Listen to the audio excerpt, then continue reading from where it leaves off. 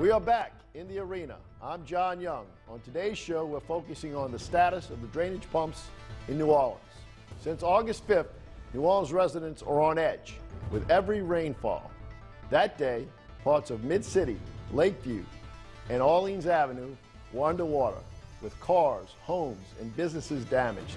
Even though the Sewage and Water Board claimed that all 24 pumping stations were fully operational, we later found out that not all the pumps were on or even worked. And then, less than a week later, a power outage sent the city's drainage system into crisis. It all led to a shakeup in the leadership of the Sewage and Water Board. And the mayor brought in an interim emergency management and support team to stabilize the city's drainage issues. But can they? To help us answer that question, we have a civil engineer with us today who is active in flood and drainage issues. H.J. Bosworth Jr. is part of levees.org. Thanks for joining us in the arena, H.J. Thank you for having me. Good to have you.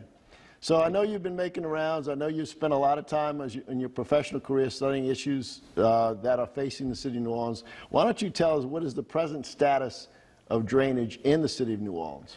The present condition of the drainage system in New Orleans is partially broken. Uh, certainly 12 years ago, we had you know, a catastrophic flood when the federal levees failed, and um, at that point, maybe half of the pumps were either offline or broken or under, somehow out of service. Gradually, it got better till about 2012, 2013. Then the pumps started to break again. They started to go offline. I think the best year from 12 years ago to now were, was in 2013, where only two pumps on the East Bank were out of service. Now we're up to what, 16, 17 or so. And why is that? Why are so many pumps out of service? Well, I've, I've talked to a lot of my colleagues, and you know they believe that certainly the changing of the guard, with Joe Sullivan retiring, and with many other of the old uh, seasoned professionals of the Sewage and Water Board retiring, and the new people coming in, they had they had lost a lot of what they needed to keep these old pumps running and to keep the uh, keep the city dry.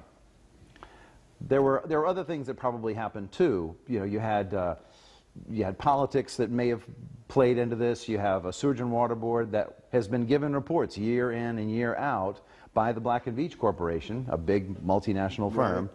that you know tells you what the uh, status of the pump stations is.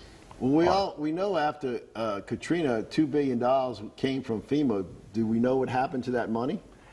FEMA told the and Water Board what to do with that money, and I believe carefully looked at what they were spending it on, whether it was spending it on, whether they spent it on drainage pump stations or power upgrades or I think they even reinforced the walls of the old pump stations by taking the old copper roof off, drilling holes in the walls, reinforcing the walls, and then putting a new roof on all the old pump stations. That doesn't help with the drainage capacity. Not a whole lot, but when FEMA's paying the bills, you do what they tell you. So let's talk a little bit about the, the, the, the power the 25 cycle power. I remember having many conversations with Joe Sullivan about that after Katrina.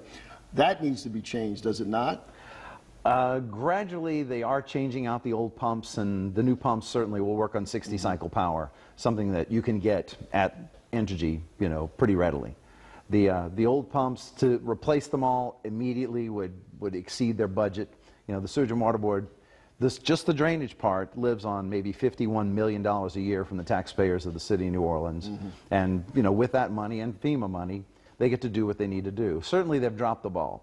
You know, they've got management issues, they've got, uh, you know, personnel shortages, and uh, they make a lot of errors as yeah, the media there's been has. a lot of mismanagement, misappropriation. There's an August 22nd, 2017 report from the IG that's been sounding warning signals since 2012. We all know uh, that, you know, whenever there's a, a, an issue with rain or flooding, uh, the system is designed only to drain one inch the first hour and a half an inch every hour thereafter. How can that or can that be improved? And if so, how much money would it would it take to improve that, that system yeah. as it exists when it's operating at full capacity? To be accurate, the system itself can accept the first half inch. So it doesn't even have to be running to accept the first half inch. It can't handle twice as much the first hour than the other hours. It's just the, the box culverts and the drains and whatnot. That's what takes care of that half inch. The yeah, storage capacity. Yes, so the speak. capacity. Okay. And to get it working right, really the best thing to do, everybody has a, a spare tire in their car, right?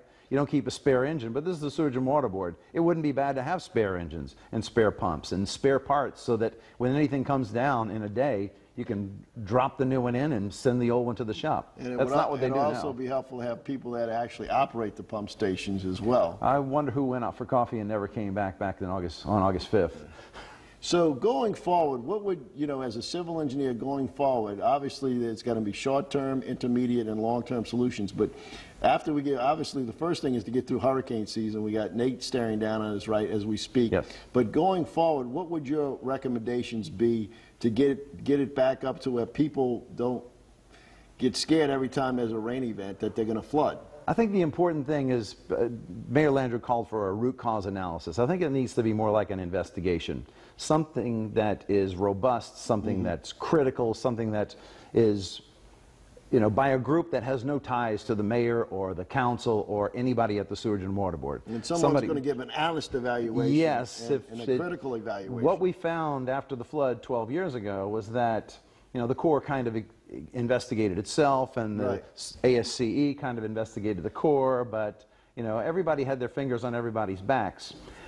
Now we need a real investigation, a real critical look at, at what happened from the top to the bottom. The president of the Sewage and Water Board, what the board knew, who told the board When what, they knew it, did the yeah. board read those doggone reports? They spent s- easily a million dollars a year on these reports. They're all online. They all describe what pumps were working on what year. And nothing was done. Well, very little was done. It's hard to believe, isn't it? Well, thank you for being with us here today, and I hope you continue to focus on this issue and provide your insight from a professional standpoint, because that's what's needed.